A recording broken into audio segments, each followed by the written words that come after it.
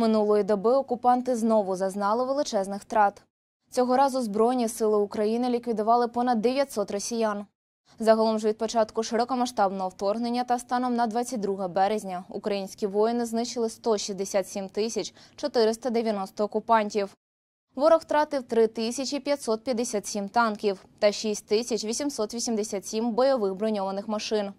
Артилерійських систем у загарбника стало менше на 2589 одиниць, а РСЗВ на 502. Засобів ППО ворога знищено у кількості 272 одиниці. Також окупанти втратили 305 літаків та 290 гелікоптерів. Автомобільної техніки та автоцистерн стало менше на 5434 одиниці. Російський флот втратив 18 кораблів та катерів. В той же час наші захисники приземлили 2183 БПЛА та ліквідували 909 крилатих ракет. Спеціальної техніки окупанта знищено у кількості 270 одиниць. Слава нашим захисникам та слава Україні!